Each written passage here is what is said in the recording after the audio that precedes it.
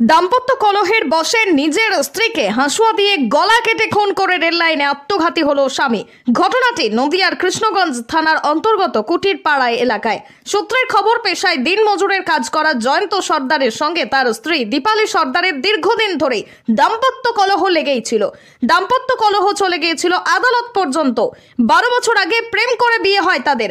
রয়েছে দুটি সন্তান, একটি নয় বছরের ছেলে, একটি পাঁচ বছরের মেয়ে। আজ সকালে ফাঁকা জমিতে ওই গৃহবধূর গলা কাটা রক্তাক্ত মৃতদেহ উদ্ধার হওয়ার পরে চাঞ্চল্য ছড়ায় গোটা এলাকায়। আমরা আমার বললে, মা, তোমার ডাকছে। আমি বলছি, ডেলি যাস, তাড়াতাড়ি আসিস, একটু গল্প করিনি পেছনে বাড়ি আমাদের, চলো দেখবেন। পেছনে বাড়ি। ওখানে প্রতিদিন গল্প করে দুজনে, গল্প করে জামাই চলে আসে। আজ মেয়ে বলে, ভালো, তারপর তোমার বাড়ি যাব। এই কথাটা কাল বলছে, মা, তাহলে হলো কি তুমি মা, তাহলে তুমি হলো কি যেতে দিবা? তা বলছি, যা বেড়ার মধ্যে তো বাড়ির কাছে কথা বলে চলে। ঘুমাচ্ছিলাম তো বাড়ি যাতে মাকে ডেকে নিয়ে বাড়ি গিয়েছে? বাড়ি থেকে যে ও বাড়ি থেকে এখানে কি করে এসছে স্যার আমি আর বলতে পারি এই খবরটা কে দিল আপনাদের? এই খবর ছেলে দিয়েছে বলতে দিদিমা আমার মার মান নেই।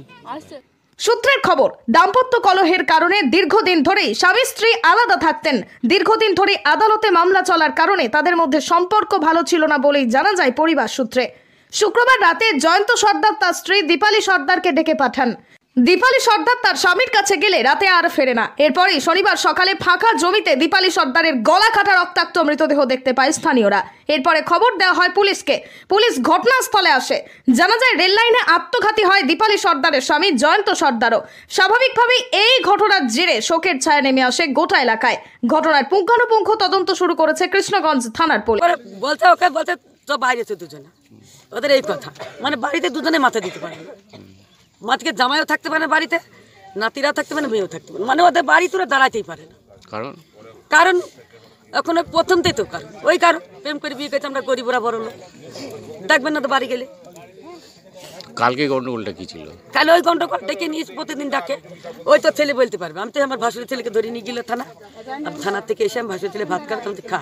চিন্তা করিস মাথা গরম করিস না। এই বৌমা ছেলেরা ছিল। তো আপনারা থানায় অভিযোগ করবেন তো? হ্যাঁ করব তো। করব না আমার মেয়ে তো যদি আমার মেয়ে সুখ পাইতো বাড়ি থাকতো।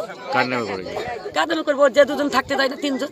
শাশুড়ি তারপরে হচ্ছে কি উম, ভাসুররা থাকতে দেয় না ওরা তিনজন। আর স্বামী? স্বামী স্বামীকেও থাকতে দেয় না। স্বামীও তো পাত্তা পায় না।